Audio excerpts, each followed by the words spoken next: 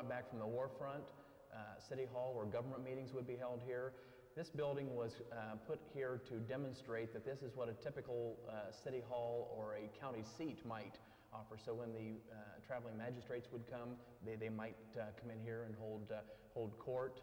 This is a multifunctional facility, and as such, it can be anywhere from political meetings to social gatherings. What are people doing more and more today to preserve history? Family history is one of the topics that is growing immensely, whether it's scrapbooking or it's sitting down and taping grandma and grandpa, uh, grandpa's story. People are really connecting and finding that they can find more interest in what's happening in their own lives and learn from their own lives. So places like the Ohio Historical Society, the various uh, facilities and sites that we have, enable folks to connect and to gather and to put the pieces of the puzzle together. We have Subscribe to the William Pace Show YouTube channel. Be sure to click the bell and give us the thumbs up. Thank you.